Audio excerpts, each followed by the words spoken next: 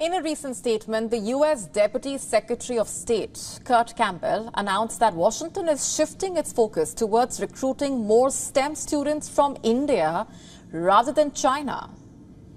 This move reportedly arises from growing security concerns in the U.S. and efforts to limit Chinese nationals' access to sensitive technology. STEM, as you may be aware, stands for science, technology, engineering, and maths. Now, why is this shift significant? Campbell described India as an increasingly important U.S. security partner, highlighting the strategic value of strengthening educational ties with Indian students. Campbell emphasized that while the U.S. remains open to welcoming Chinese students, it would prefer they focus on humanities and social sciences rather than STEM fields. According to reports in the US, in the academic year 2022 to 23, there were around 290,000 Chinese students enrolled in US universities as compared to roughly 269,000 Indian students. However, experts argue that security tensions between Washington and Beijing have led to unwarranted discrimination against Chinese students.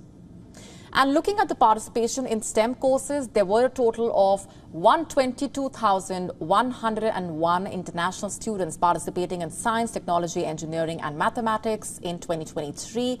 According to the Department of U.S. Homeland Security, most students participating in STEM were from India which accounted for 39.1%. Participation of students from China, meanwhile, accounted for 23.7%.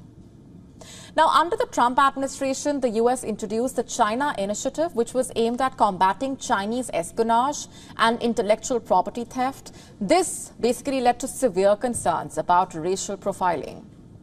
Under President Biden, this initiative ended, but Campbell said that U.S. universities still make careful attempts to support Chinese students while safeguarding sensitive areas like laboratories. Campbell underscored the need to recruit more international STEM students, particularly from India, which is an increasingly important U.S. security partner. The move is made in order to address the shortage of Americans studying these fields. And he expressed optimism that increasing the number of Indian students in technology programs could fill this gap. While emphasizing on the importance of maintaining ties with China, Campbell pointed out that China is to blame for any fallout in academic, business, or non-profit sector ties. Campbell basically said, and I'm quoting, it really has been China that has made it difficult for the kinds of activities that we would like to see sustaining. This new policy direction has sparked significant discussion within academic and civil communities. Some argue that the strained U.S.-China relations and intensified, secure, intensified scrutiny are stifling scientific collaboration.